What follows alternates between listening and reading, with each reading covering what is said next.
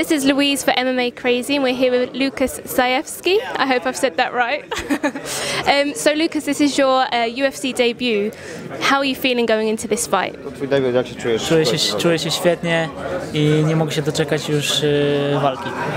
I feel great. I can't wait to, to step into the octagon and uh, fight my UFC debut. And how did the call come about? Sorry? How did the call come about for the UFC to make his debut? Jak, jak się ten... Yy, jak, jak, jak przygotowania do debiutu? No, przygotowania świetnie, obyło się bez żadnych kontuzji, jestem gotowy w 100%, czuję się w życiowej formie i nigdy, nigdy nie było lepiej, także nie mógł się doczekać. The, the, all went very good. Preparation went uh, perfect. I'm, uh, I'm injury free, in shape of my life. Never feel better, and I think that I will show the best of uh, my skills uh, so far. Are there any UFC nerves going into this? Denerwujesz się przed, przed debiutem?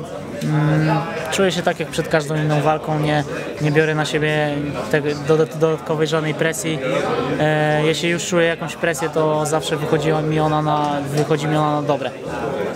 I do not feel any extra pressure. I'm, I feel like before every other uh, fight that I had my, in my life. But if there is any anything extra, that's uh, extra motivation, and it's in a positive way to motivate me to to show my best.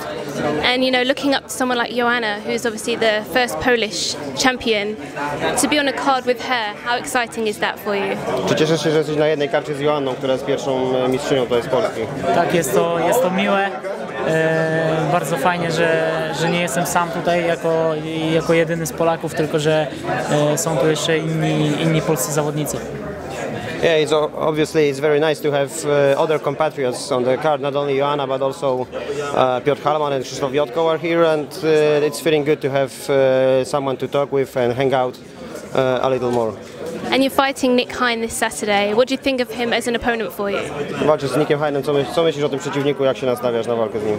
Sądzę, że jest solidnym zawodnikiem, aczkolwiek nie jest e, zawodnikiem mojego kalibru i zamierzam to pokazać e, w sobotę w klatce. Uh, I think he is a tough fighter, but obviously not on my level, and uh, I want to show the difference between me and Nick uh, on Saturday in the uh, octagon. And what would you say is the difference between uh, yourself and Nick? To, to w czym jesteś lepszy? Jakbyś opisał tę różnicę między tobą a, a Nickiem? Czemu to ty jesteś lepszy? Jestem lepszy w każdej płaszczyźnie i e, po prostu to czuję. I to wiem. I feel and I know that I am better in uh, every aspect of MMA game than, uh, than Nick, and it will be seen on Saturday. So, what kind of uh, weaknesses then have you picked up in Nick Hine's gameplay, or on, in his style? Sorry. I byś, jakbyś miał jakiś słaby punkt u Nicka wskazać, taki najsłabszy, to twoim zdaniem co to będzie? Nie wiem, nie zastanawiałem się nad tym. Zastanawiam się tylko nad tym, co, co, co ja zrobię w walce.